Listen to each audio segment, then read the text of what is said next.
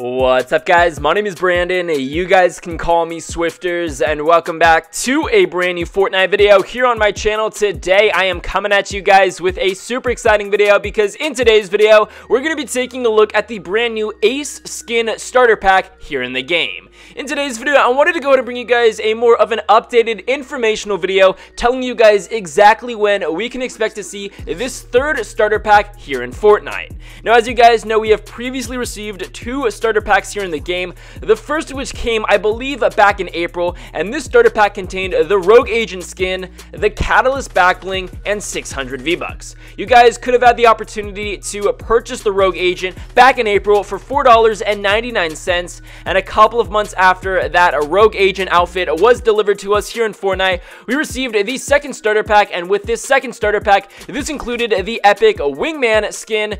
In addition to that, we also received the Bogey Bag back bling, and 600 V-Bucks. Again, like the first starter pack, the second or the Wingman starter pack costed $4.99, and obviously a couple of months after that, we have now received information of a third starter pack coming to Fortnite. This, of course, includes the legendary Ace skin, a brand new awesome looking back bling called the Cash Bag, and 600 V-Bucks.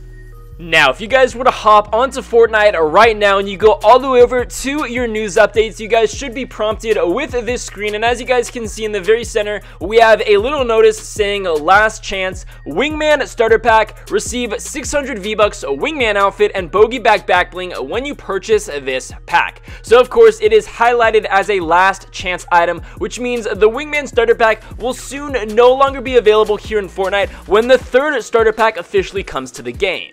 So if you guys have yet to do so and you guys do want that second starter pack including the Wingman skin, make sure that you guys purchase it by the end of today because today is in fact uh, the last day to purchase the Wingman starter pack. Again, this starter pack alongside the previous starter pack and the new Ace Skin starter pack coming to Fortnite is only $4.99 here in the United States and I can only assume that it really isn't all that expensive anywhere else in the entire world. So for $4.99 you guys could receive the Wingman starter pack However, of course, the main topic of today's video is, of course, the third starter pack coming to Fortnite, which is the Ace skin. Now, a couple of hours ago, Fortnite posted this over on Twitter, and they said, bounce into action in the 5.3 content update available tomorrow, August 28th at 8 a.m. Eastern Time. There will be no downtime. So tomorrow morning, we are expected to receive a pretty substantial content update here in the game, and this content update is expected to introduce a ton of new things into Fortnite, and I actually have a video coming out later today